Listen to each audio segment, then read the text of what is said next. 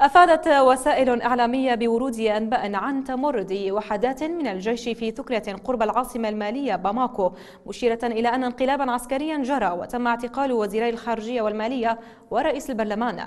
وقالت وكالة الصحافة الفرنسية أن أطلاق نار كثيف سمع قرب قاعدة عسكرية قريبة من العاصمة المالية باماكو.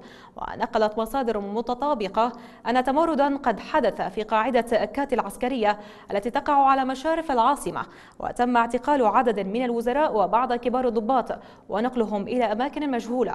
وذكر مصدر عسكري للوكالة أنه تمت محاصرة العاصمة باماكو لمنع أي تمرد قد يحدث.